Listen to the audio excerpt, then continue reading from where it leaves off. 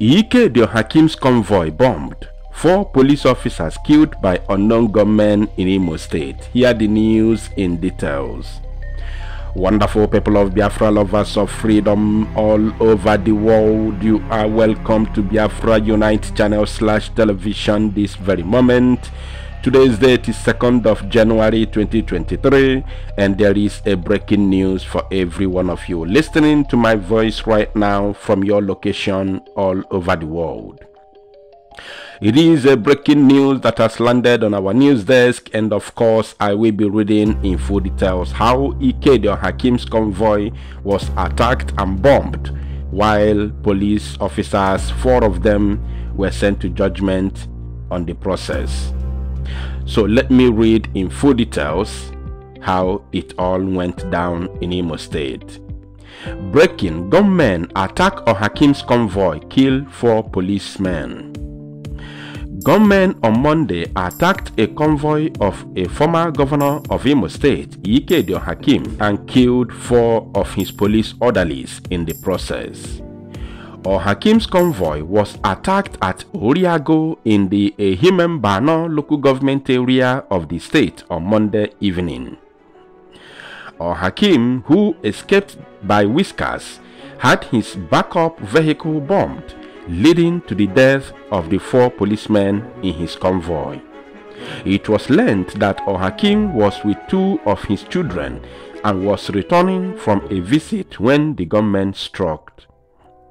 A source close to the ex-governor disclosed to Punch that it took the bravery of the driver of the ex-governor for him to escape. The source said His Excellency was the main target, but his driver was smart enough to beat them because they were driving to block him. Disappointed that their main attack had escaped, they blocked his backup vehicle and burnt it. The four policemen with him burnt. Hmm. Wow. It was gathered that a reinforcement came from Owerri, the state capital, and escorted him to his house. You see? So um, right now I will be reading from Punch. Let us see how Punch News has reported it because I have already read from a different source. But since they said that they also spoke to a Punch newspaper, let us go to Punch and read how it has been reported by Punch newspaper. But before then, let me say something here.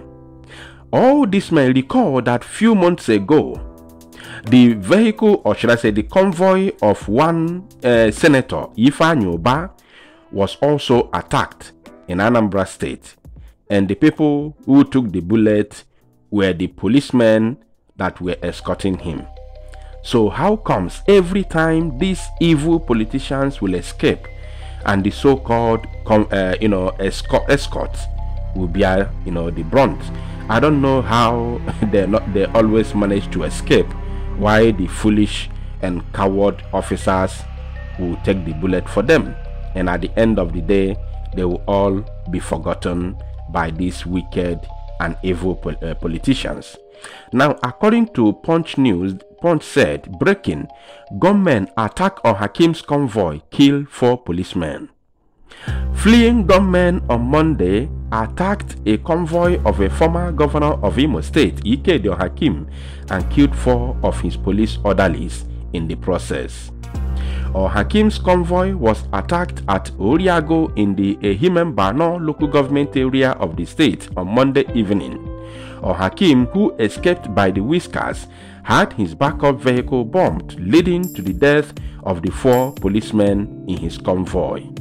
Our correspondent gathered that Ohakim was with two of his children and was returning from a visit when the government struck.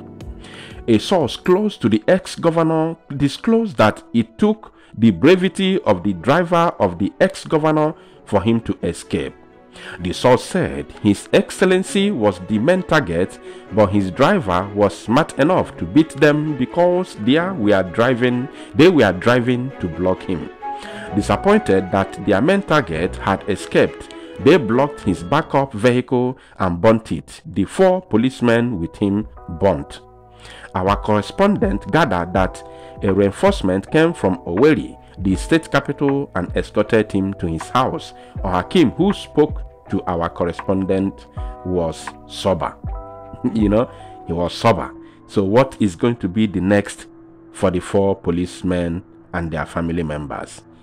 So, I have been saying this, especially those Biafrans, those Igbo Biafrans who always volunteer themselves because of the money that they are being paid by these wicked, evil politicians in the zoo. All of you will bear, will always bear the consequences of the actions of these very evil politicians. So the earlier you people will understand this, the better for all of you. Last time it happened in Anambra State where Ifa Ifeanyi was attacked and the police officers, you know, bore the consequences of the evil activities of these politicians in the zoo. And today we are now talking about Ikedi Ohakim. How comes these people that are in uniform will not learn? These criminal police officers in the zoo should be allowed to go to work alone, to work by themselves. Because in the in the in the foreign countries, the politicians do not work with escort. It's only in the zoo that after stealing from the public, after siphoning and embezzling the public funds, they will be going with escort. They will hire no less than 10 police officers, mobile police officers to escort them, even to go to supermarket nearby. They have to go with no less than 5 to 10 mobile police officers to escort them because they know that people are angry with them. People are not happy with them. People want them to be out of the way because they have stolen from the people, they have impoverished the people, they don't care about the citizens. That is the reason why after committing all manner of crimes in you know in the offices that they occupy, they don't even they don't even go step an inch they don't step an inch without escort. But in the Western world, governors, politicians, you know, even the president work as a free people. No, no siren, nothing, nothing. They go about their normal businesses without this escort and you know convoy because people love them People are in love with them. People want them alive because they are working for the people. They are not working for their pockets. Only the salary that they earn is enough for them. But here in the zoo, the salary of the politicians, even as huge as it is, yet is not enough for them. They have to steal from the people they have to rob the people, they have to siphon the public funds and starve the people, impoverish the people. That is the reason why criminality has become the order of the day. Yes, because every single thing here in the zoo is being paid for. There is no water, there is no electricity there is no good road there is no school there is no uh, uh, uh, you know hospital. Nothing works in the zoo. It's all about them them. Money that comes for you know for the betterment of the citizens will be siphoned and shared within few political elites as they call themselves. And you want people to be happy for you? You want people to be clapping for you you want them to be happy because ana etugi your excellency. In in eh, a buga naga naga everywhere with 1000 escorts with with, with AK47 rifle. And you think that is going to last forever. You think you are not going to be you know sent to judgment one day because you are your excellency. Stupid people everywhere. Very greedy people. That's why i don't pity them that is the reason why I never pity any of them, no matter where they come from. Some people say, eh, Igbos are, you know, killing themselves. It doesn't matter where they come from.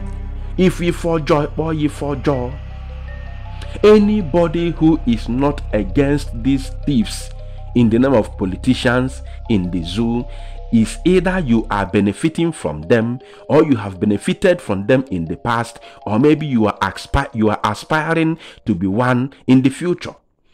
That is the only way you can support the criminalities of these evil politicians in our land. That's why or else tell me any reason why you can support these evil men who is that just name one politician that has bettered the lives of the citizens in the zoological republic of animal kingdom? Thank you my people. To salo numozia and make it go viral